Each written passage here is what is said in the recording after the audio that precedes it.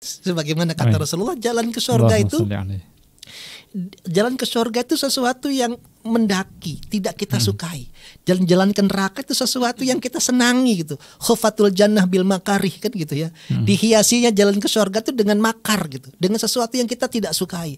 Wa khofatul wa khofatun nar bisyahawati dan dihiasinya neraka dengan syahwat gitu. Yang kita suka, yang kita senangi. Dan itu kadang-kadang kita salah pilih di situ tuh. Semoga dengan pengetahuan kita bisa melihat mana yang baik untuk eh, dampaknya di masa depan. Depan. Jadi pintunya adalah pengetahuan dan kita bisa paham dengan pemahaman kita bisa menjadi ilmu. Ilmu. Nah ilmu ini yang akan menjadi penyelamatan menyelamatkan kita sehingga kita memilih dengan pilihan yang tepat. Insya Allah. Baik.